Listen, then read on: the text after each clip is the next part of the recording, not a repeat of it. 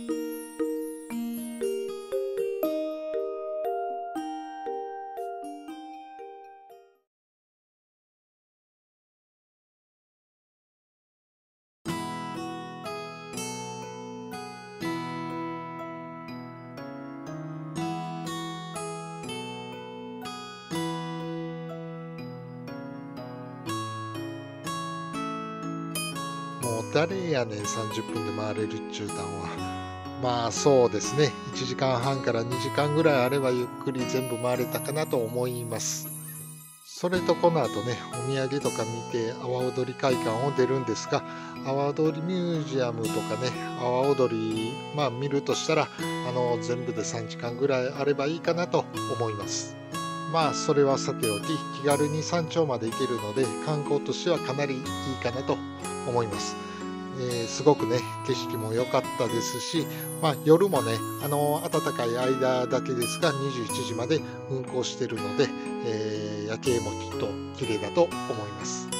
今回もね、あの中途半端な、まあ、僕らしいっちゃ僕らしい観光になりましたがまた徳島に来ることがあったら全部回りたいし阿波踊り会館も見て回りたいかなと思います。